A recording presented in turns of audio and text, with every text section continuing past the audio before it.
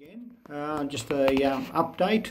Uh, as you can see, I've got these stacked one on top of the other one, 22 of them, because it's actually 22 uh, cells.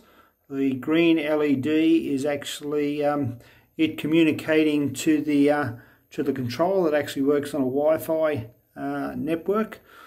So as you see, you'll see the little uh, red LEDs illuminate that actually is the battery balancing turning on and burning the excess energy to bring the voltage down on the actual uh, battery. As you see there's a, a, resistor bank there where it says uh, very very hot and um, yeah that's how it is. Um, yeah it works out pretty good. Now looking back up into the user interface on my uh, TV screen you'll see there's ones that is illuminated in red.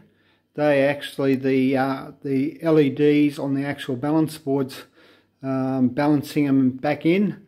As you see, uh, when they're red, sometimes they'll actually show a lower reading because of just uh, the resistance uh, wires on the monitoring board uh, is a bit a little bit low, and uh, yeah, it's just um, just resistance while it's actually burning off the extra uh, wattage. It's actually burning off at about uh, 0.835 uh, uh, amps is actually what it's doing.